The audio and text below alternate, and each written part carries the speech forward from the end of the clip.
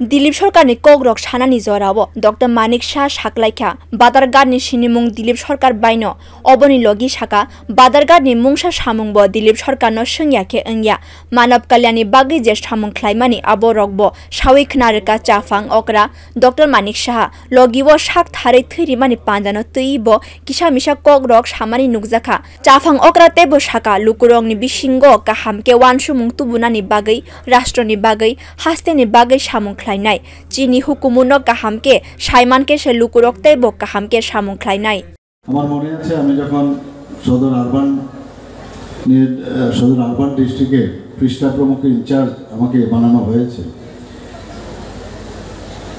দিলীপ বাবুর সাথে আমি প্রায় দুটো থেকে তিনটে যে সেই যে আমি শেয়ার করেছিলাম পৃষ্ঠা প্রমুখ তৈরি করার ক্ষেত্রে। ওনার সাথে প্রায়শ আমার স্টেজের মধ্যে অনেক কথাবার্তা হতো।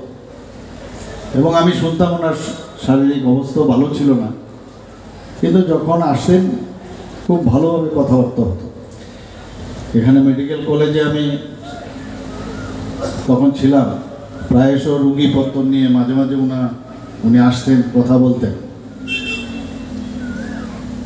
এবং ওনার সম্পর্কে এখানে অনেক কথা হয়েছে। আমরাও শুনতাম সমস্ত কথা যে বাধারঘাট বলতেই দিলীপ সরকার, এরকম একটা অবস্থা ছিল। বাধারঘাট যে কোনো বিষয়, যে দিলীপ সরকারকে বাদ দিয়ে কোনো কোনো অবস্থায় কোনো চিন্তা করা করা যেত না। এবং ওনার সম্পর্কে মানুষকে সাহায্য করার যে একটা প্রবণতা, সবসময় ওনার মধ্যে সেটা ছিল। কারণ আমাদের সুমুদা এখানে আছেন। সুমুদারও বলা যায়, বলছে যে যে ওনার ছোট ভাইয়ের মতো। তো man is known by its companion ইংলিশে একটা কথা আছে। তো সুমুদার কিছু গুণা গুণাবলী ওনার মধ্যে ঢুকে গেছে, বরং এমপ্লিফাইড হয়ে আরও বেশি করেছে এখানে। নিজের বাড়ি, জমি বিক্রি করে মানুষের সাহায্যে বিয়া, বিয়ের থেকে আরম্ভ করে বিভিন্ন অনুষ্ঠানের কথা আমাদের কানে আসতো। পুর নিগমনি মেয়র দীপক মজুমদার শাখা, পলিটিক্স র খ্লাইমানি সিমিয়া, হদানি ফাইসিংতৈ নাইকলনানি বাগৈন, দিলীপ সরকার তামো সামুং খ্লাইকা আবো র কাহামখে ন সাইমানো, বমতৈ খে সাগনি নগ নুখং ফালে হদানি লুকুরংনি বাগৈ, চুবাচুনি বাগৈ বসকাঙ্গ ফাইকা দিলীপ সরকার। যতনি বসকাঙ্গ ন শাখা বাদারগার আমজেনি দিলীপ সরকার যে সামুং রক খ্লাইকা আরও সবকা সাথ সবকা বিকাশ অম কাহাইন স্লোগান নতাবুক খনাওই মানো। দিলীপ সরকারনি নুখুংনি বরক রক মিনা সরকারনি ফাইসিং আমজানি লুকুরক যে ওয়ানসুংমানি আবনি বাগৈ মেয়র দীপক মজুমদার লামসমুং ইয়াফারকা আমজানি লুকুরক ন। তো প্রয়াত জননেতা দিলীপ সরকার সম্বন্ধে স্মৃতিচারণ করেছেন এখানে সবাই মুখ্যমন্ত্রী আলোচনা রাখবেন। যারাই আলোচনা করেছেন তার সঙ্গেও আমিও দিলীপদাকে অনেক ভালোভাবে জানি।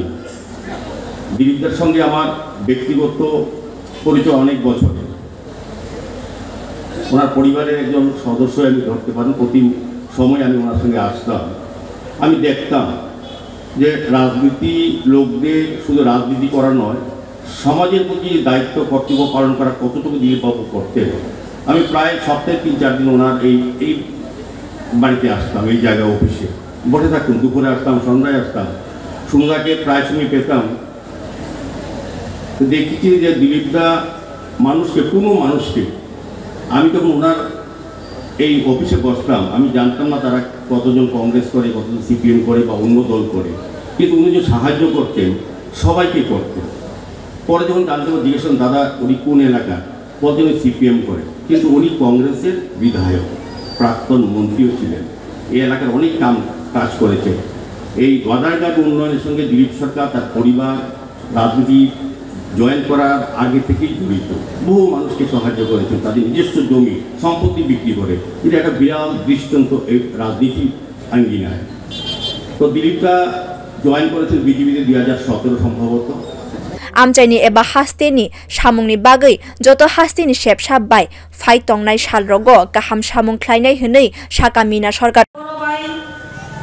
আমার পরিবার আমার বড় ভাই প্রয়াত দিলীপ সরকারের সম্বন্ধে এবং আমাদের মাননীয় মুখ্যমন্ত্রী সম্বন্ধে আমার ত্রিপুরার যে অবস্থা বর্তমানে আছে- তা যেন আরও ত্বরান্বিত হয়ে এগিয়ে যাবে, তার আবাস দিয়ে গেছেন। আমি এখানে বেশি কিছু কথা বলব না, কারণ রাজীব ভট্টাচার্যের সাকথারে থিরি মানে কাহাই সামুংনতই দিলীপ সরকারনি মৃত্যু খ্লাই মানে সালন হামবাই ইয়াফারকা পান্দা সংসানাই রগ্ন। আবনি লগি শাখা চাংফাং অগ্রানি কবমুনতই যত হাস্তে ও কাহাম সামুংনি বাগে বসকাঙ্গ থাঙ্কা হাস্তিনি যত থানি লুকু রগ্ন। অবনি লগি শাখা সাকথারে থিরি মানে পান্দানি বিশিং তৈন মান বরম ইয়াফারি রেখা থৈনে রগ্ন। অজামা রগ্নব মুখ্যমন্ত্রী রয়েছেন উনি বক্তব্য রাখবেন।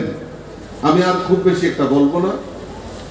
আমি ধন্যবাদ জানাই যারা এই উদ্যোক্তা, প্রয়াত দিলীপ সরকারের আজকে শ্রদ্ধাঞ্জলি দেওয়ার জন্য ব্লাড ডোনেশন রক্তদানের মতো একটা কাজ, মহৎ কাজ আপনারা ব্রতী হয়েছেন, তার জন্য আমি আপনাদের কাছে, আপনাদেরকে আমি অসংখ্য ধন্যবাদ জানাই। আমরা জানি বিগত কয়েক মাস যাবত আমরা নির্বাচনের কাজে ব্যস্ত ছিলাম। তো নতুন সরকার প্রতিষ্ঠার পর মাননীয় মুখ্যমন্ত্রীর কাছে গোচরে আসে যে ব্লাড ব্যাংক গুলাতে রক্তের স্বল্পতা রয়েছে। মাননীয় মুখ্যমন্ত্রী তৎক্ষণাৎ উনি সমাজের প্রত্যেকটা অংশের মানুষের কাছে আবেদন রাখেন যে যাতে ব্লাড ডোনেশন করা হয়। আর আজকে মাননীয় মুখ্যমন্ত্রীর এই আহ্বানকে সারা দিয়ে সারা রাজ্যে ভারতীয় জনতা পার্টির কার্যকর্তারা তো সামিল হচ্ছে পাশাপাশি বিভিন্ন ক্লাব, এনজিও, বিভিন্ন সামাজিক সংগঠন, তারা এই রক্তদানের মতো মহৎ কাজে এগিয়ে এসে ব্যুরো রিপোর্ট কক্ষরাং।